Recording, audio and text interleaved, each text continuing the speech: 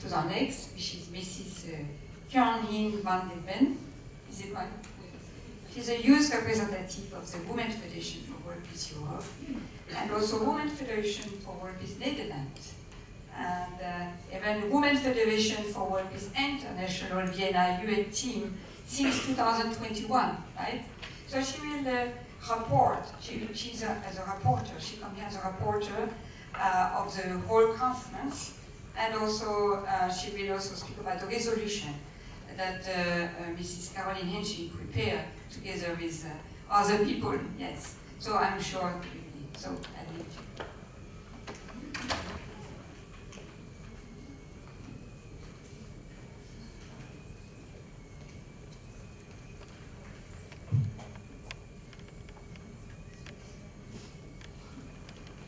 Good afternoon. Good morning still, everyone.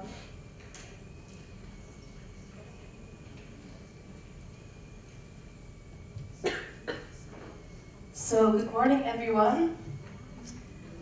Thank you to all my panelists today. Really, how to say, like, really um, impactful reflections of reality.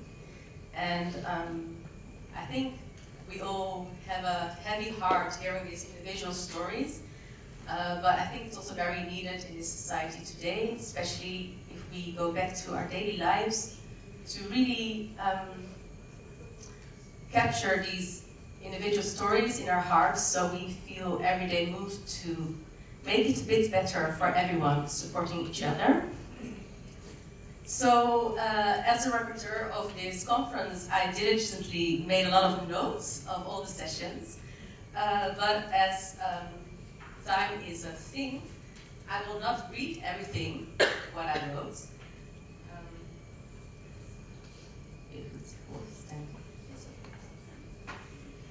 so, um, but first of all, I want to mention that we're very, very thankful as the Women's Federation for World Peace in Europe and Middle East that we are able again after COVID to come together and to physically meet each other and to relate to each other, to connect with each other in heart because the real dimension is still slightly different than the virtual, although we're grateful that we had the virtual. And um, I would like to express that I'm, I'm pretty sure that our founders, uh, Mr. Uh, Dr. Um, Moon and Mother Moon, Moon, the Mother of Peace, is very proud and happy that we have the opportunity to be here together. As women supporting each other, as women, as mothers, to really create uh, a better world by supporting each other and networking together.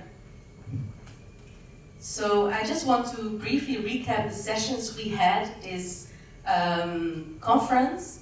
So the first session was about the invaluable contribution of women to peace education, and we talked about identity and human dignity, and peace leadership and peace culture, and we uh, proposed the concept of familiarchy uh, as, as a counter proposal to matriarchy and patriarchy. And yeah, we learned a lot of, we heard about a lot of different disturbing things in the world, in different fields of life. Also, for example, the recent sex education curriculum in the West. Um, but we also heard what women can bring to the table, what are the qualities of women, and um, how we can support each other.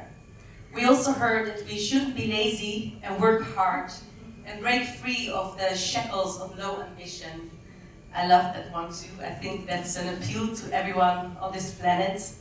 We also heard about how we can, how we are responsible to really take care of Mama Earth and how we as the owners of the earth are responsible all together and that it's all connected. We cannot do this in isolation. The whole world and also our planet need each other. Also, we learned about the impact of accumulated trauma and how it has an impact for generations. So we can only imagine what kind of impact it has on regions that has been impacted for decades and almost centuries with war and conflict. Anyways, um, we're very proud that we can be here all together and that we can network and connect. And because of that, um, we want to, um, how to say, motivate each other and make each other accountable and uh, keep our enthusiasm together by um, drafting a resolution. We have this tradition in the Women's Federation, in our conferences, to, to draft a resolution. And I'm gonna read it to you. Um, there were several people who contributed during this conference to this resolution. And um, I just want to mention some people who uh, made a lot of effort just until this moment actually to draft a resolution and then I'm going to read it. So special thanks to Dr. Tina Lindhart, uh, Mrs. Letitia van Dr. Zoe Bennett, Marilyn Angelucci, Renate Amesbauer, and our UN Director, Carolyn Handschin. So um, I'm going to read it now, and I would really like to ask you to listen actively. You can also see it on the screen. And after, we will make a voting. We will make a voting if you could agree that this is our kind of working, work in progress and that we all want to um, underline the words in it and want to work more together to um, achieve these goals. So, read me, please. So the 20th Women's Leadership Conference, um, Women's Federation Women for World Peace and Europe and partners. 110 women from 28 nations representing governments, international institutions, and a number of civil society organizations met in the historical Mediterranean city of Larnaca, Cyprus, to strengthen their solidarity and call to action under the theme Transforming Our World Through Advancing Peace, a Culture of Peace and human dignity. Inspired by the remarkable legacy of women peacemakers, 75 years of the Universal Declaration of Human Rights, our dedication to the Culture of Peace program, the Sustainable Development Goals, Security Council resolutions on women, peace and security, and the desire of all humanity to live in peace and shared prosperity, we call upon our leaders and ourselves to settle for no less than, we can fill it in.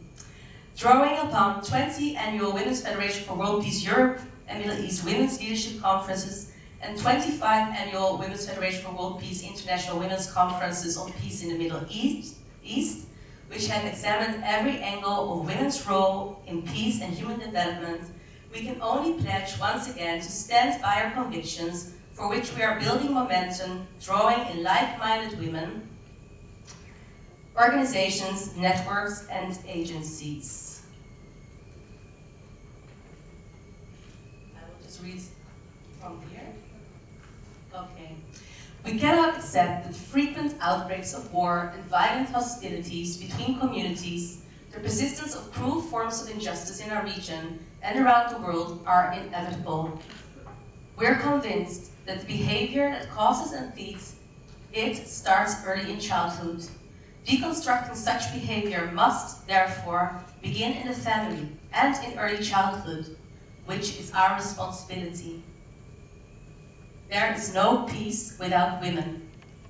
As such, we, women leaders, pledge again our commitment to take the lead in this task as we see all perpetrators and survivors of war and abuse as our own sisters, brothers and children, and to commit all our human resources to find effective ways to promote rules of peaceful coexistence and a world of lasting peace. History is calling for reconciliation, compassion, love, service, and sacrifice.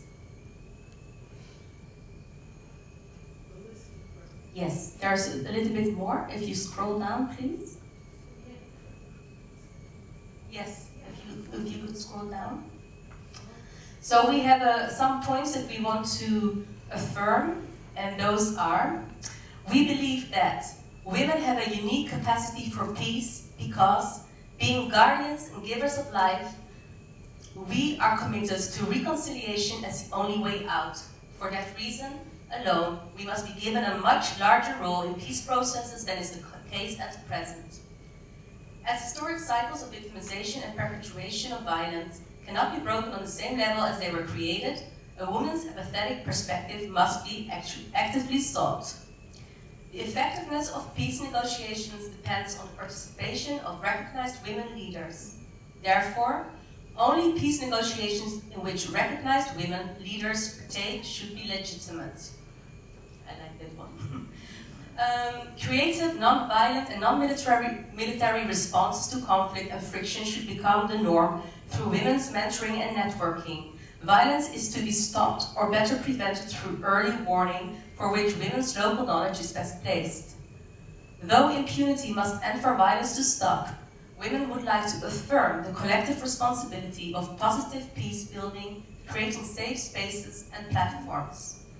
Women should enhance awareness in their families and communities, in particular of the boys and men, of how the intergenerational consequences and lasting trauma of conflict and war threaten the mental health and capacity to live in peace for, of future communities. Women's equal representation in all areas of life should be promoted more vigorously, not as a token, but as a strategic best choice. Their strong advocacy for priori prioritization of resources for the basic human rights to education and healthcare for all is urgent, urgently needed. Peacekeeping should be doubled by peacemaking, use, using women's capacity for reconciliation and social remodeling starting with the creation of a toolkit for non-violent, mentored communication to be practiced at home, as well so that children learn early. We should seize this sadly unique moment of grave existential concern to build momentum for peacemaking as here presented. We must raise awareness of the realities of injustice, war, and all kinds of violence by shielding children from it and giving survivors a voice so as to find opportunities and peaceful long-term solutions. We need to empower one another, encouraging leadership and responsibility.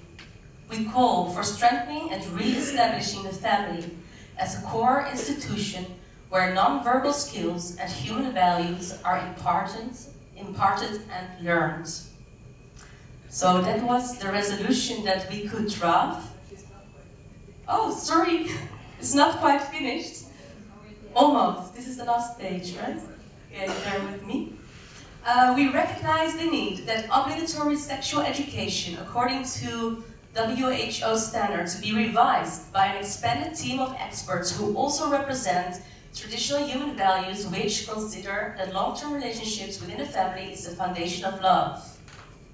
Women have a crucial role to play in environmental peace building and an integral part of a truly peaceful world we women shall transmit love for nature to our families and communities and take the lead in sustainable personal and household consumption. Transmit to our families the love of nature, enlightened by true knowledge. Gathering in the Middle East, where the situation is grave, we are nevertheless convinced that we can turn things around by working passionately and in solidarity. This declaration and its resolutions are our plan, which we shall implement to the best of our abilities.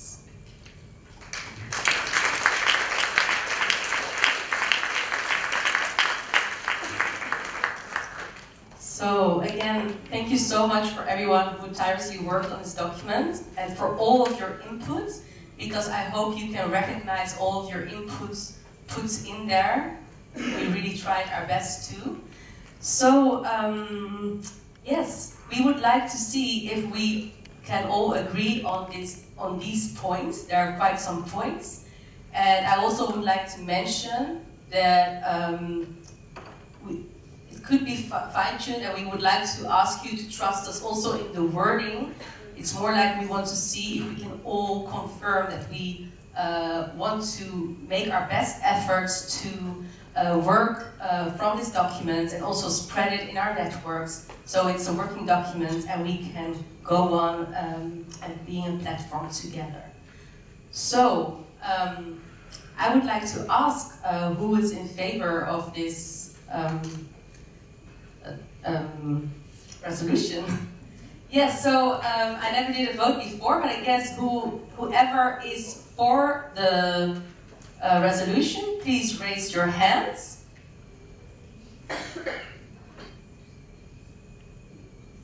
So I can see at least a majority in the room. Caroline, would you like to add something? Okay. Okay, and so could anyone uh, also raise their hands who uh, are against or this or want to not vote? So if anyone do not want to vote or is against some parts of the resolution, please raise your hands. Abstained. I don't see any hands now. So, okay, so then we can declare that unanimously in consensus accepted. So thank you very much, ladies. And uh, let's give this up to each other a hand of applause.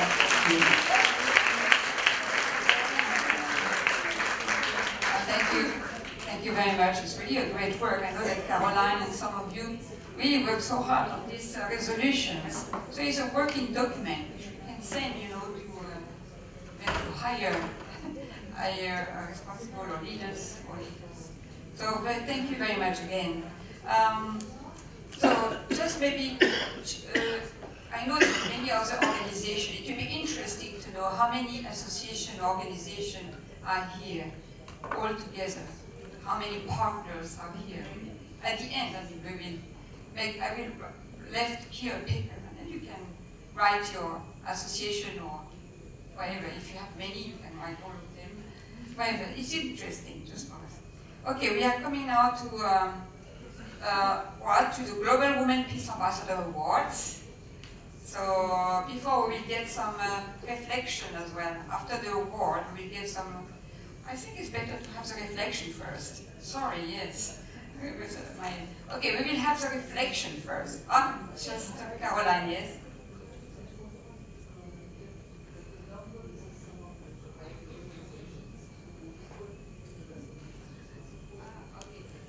Uh, just Caroline mentioned that the number of all the uh, association of women will be put into the resolutions, yeah? Which yeah. will be written there.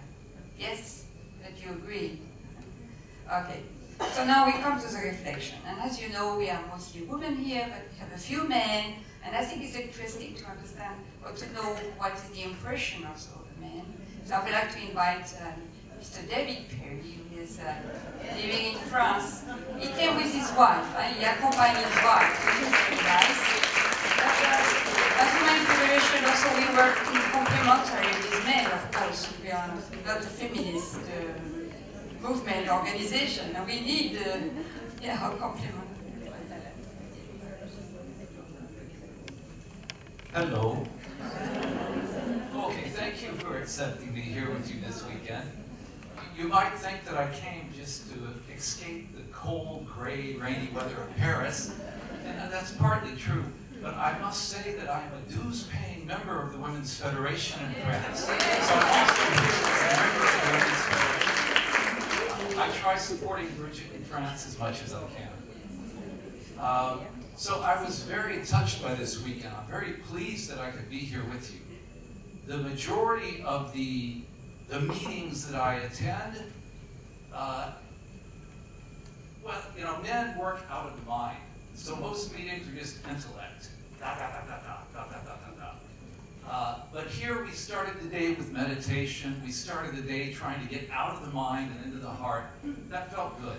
I really enjoyed that. Uh, and I was very touched by the desire of women to work together we need this. I'm really sorry for what we men have done to the world.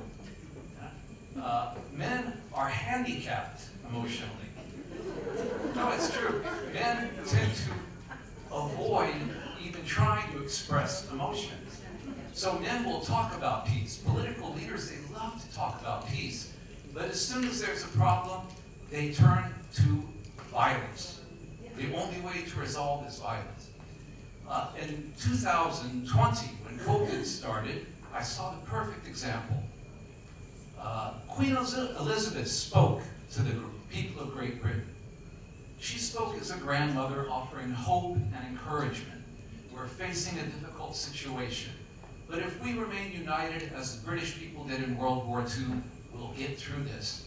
I thought, wow, that's good. That's really good. A few days later, the French president, Emmanuel Macron, he spoke to the French people and he said, this is a war. We're going to fight COVID. We're going to defeat it. We can do better than this. so this is the reality. Also, we talked about the environment. Men have put into place an economic system based on extreme competition, and it encourages greed and uh, selfishness. And that's why we have mistreated the world. So we really need women leaders who are going to be able to say, we don't have to act the way we're acting now. So I really encourage you to work together and support each other. This is vital. But I will say at the same time, you know, I'm, I'm president of an association, and I learned quickly that when I wanted to organize something, I identify there's two types of people in. There's the people that want to contribute positively, and there's the people that are going to see everything in a negative way. As soon as you propose something, they'll always tell you why it's wrong. So you can work with men, but identify the good men who are capable of being positive. If you know that you have to be negative, just avoid them and find the good men and work with them. Ideally, men and women should be working together in a positive way. But make your network, but we identify the good men and work with them. And together, we can do something with this world. Thank you.